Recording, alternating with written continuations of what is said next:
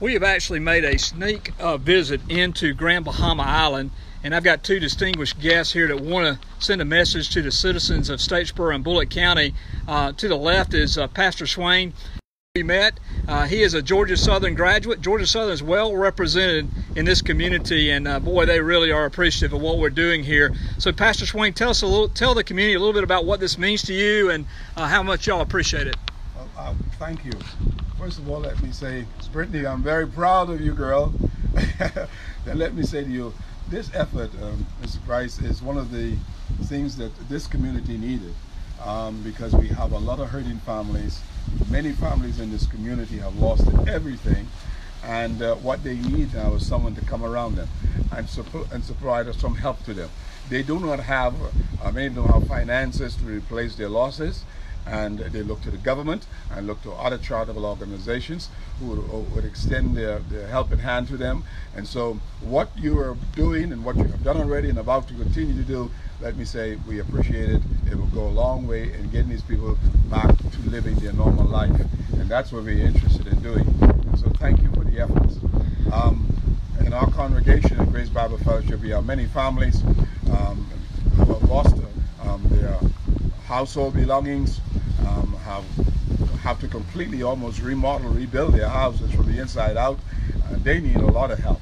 And so I, I thank you uh, so much for the little help that you can give.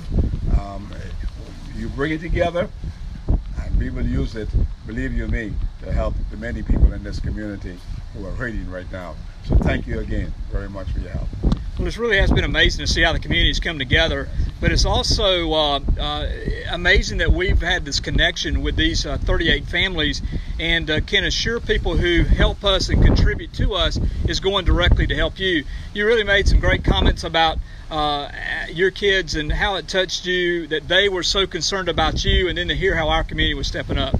Well, it certainly, it certainly was a surprise for me um, when I first learned it, of it.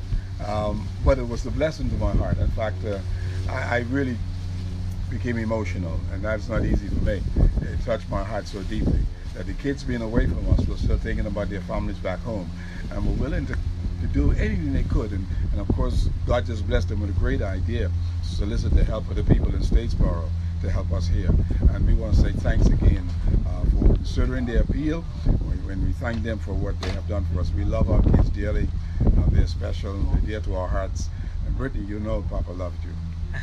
Well, thank you so much, Pastor. And you, uh, uh, boy, what a refreshing sight to see a fellow Eagle with us. And you were there during the great days. One of the first people you asked me about was OP. Yes, and they yes. wanted to know how OP was doing here. And uh, he has a, a, large position, and they've been able to connect us with some amazing people in this community already. Uh, but tell us a little bit about what you've experienced and uh, what you want to say to your, your family back in Statesboro.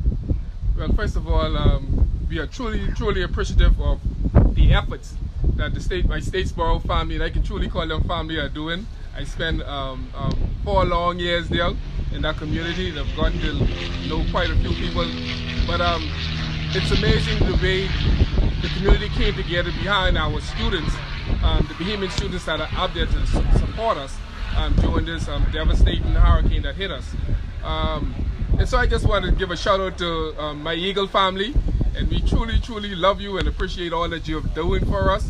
Um, the support is overwhelming, like uh, Pastor said. It, it, it really uh, touched us deeply um, to see the care and concern, uh, especially, you know, when you go through a, community and you live and you think that nobody cares about you. And this happened and it shows the overwhelming support. So thank you so much, my Eagle family. We love you and God, I pray that God continue to bless you.